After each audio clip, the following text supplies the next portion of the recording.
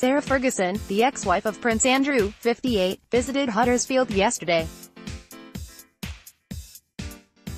The Duchess of York seemed in good spirits despite reports she is deeply unhappy about matters related to royal wedding invitations. On Monday last week it was reported that Fergie, the mother of Prince Harry's cousins, Princess Eugenie, 28, and Princess Beatrice, 29, is not invited to the wedding reception of her nephew. However, the redhead is invited to the ceremony at St. George's Chapel in Windsor Castle.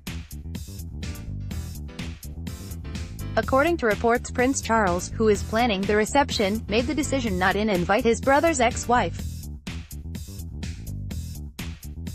Sarah Ferguson, Prince Andrew's ex-wife meet public after royal wedding. Snub leaves her, deeply unhappy, an insider told Mail Online, numbers are limited to the evening party, she is not a member of the royal family anymore and Prince Charles simply doesn't have time for her, he just can't see why she is still such a big part of his brother's life. Prince Harry is reported to have made a point of inviting his aunt to his wedding after she was not invited to Prince William and Kate Middleton's nuptials in 2011. However, familial ties between Fergie and her ex-husband are said to be mended.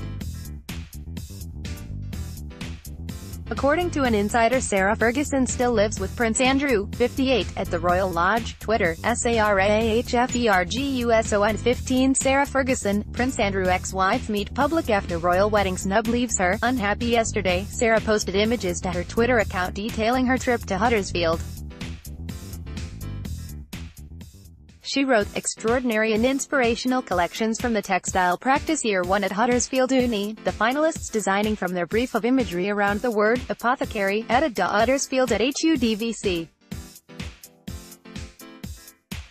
She wrote, so honored to visit at Ruddi's Retreat in Huddersfield who raise funds for retreats for children with cancer and their families at Huddersfield Uni at HUDVC. James's palace enjoying herself and socializing with a wine glass in hand, just days before the royal wedding yesterday. Recently engaged Princess Eugenie, 28, attended the event with her mother, showing off her huge engagement ring. HRH Princess Eugenie of York was given a rare, lotus blossom, sapphire, which an expert has valued at around £7,000 modest for a royal ring. The light pink ring is an oval cut, flanked by diamonds and set on a gold band. Raja sapphire like Eugenie's is characterized by a color that is a mixture of red and yellow, creating a pink tone.